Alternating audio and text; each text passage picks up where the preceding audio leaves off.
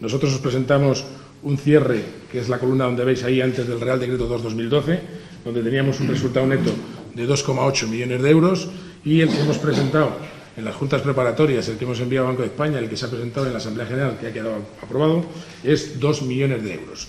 Como veis, los capítulos tanto de margen de intereses, comisiones netas, como margen ordinario y margen de explotación no varían en ninguna de las dos columnas y sí lo hacen las provisiones de riesgo y el resultado neto.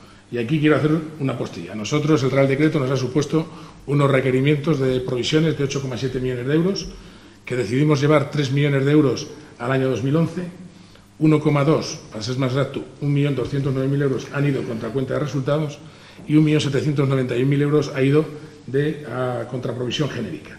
Eso nos ha supuesto, como digo, llevar al resultado del ejercicio 2011 3 millones de euros de los 8,7 que nos exigía el Real Decreto.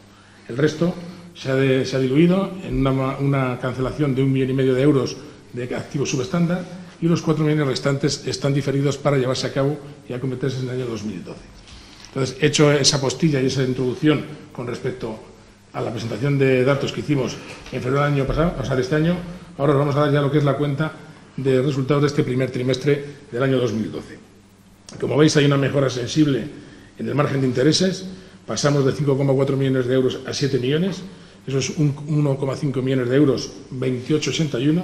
Mejoran también las comisiones netas. Y aquí sí quiero hacer un matiz que es fundamental. Las comisiones son las que están recogidas en este apartado por intermediación de seguros, de planes de pensiones, de fondos de inversión, todo lo que son comisiones por intermediación. Veis que crecen también a buenos ritmos y lo están haciendo pasando de 1,3 millones de euros a 1,9. 500.000 euros más, casi 600.000, que supone un 44% más. Esto nos lleva a un margen ordinario que pasa del 7,3 en el año 2011 a 9,3, casi 2 millones de euros más, un 26%.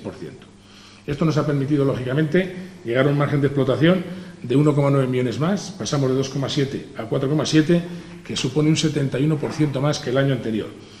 Esta generación de margen de explotación nos ha permitido, como veis ahí al pie de página, que cumplamos ya al 31 de marzo con las dos terceras partes de los requerimientos del Real Decreto 2-2012.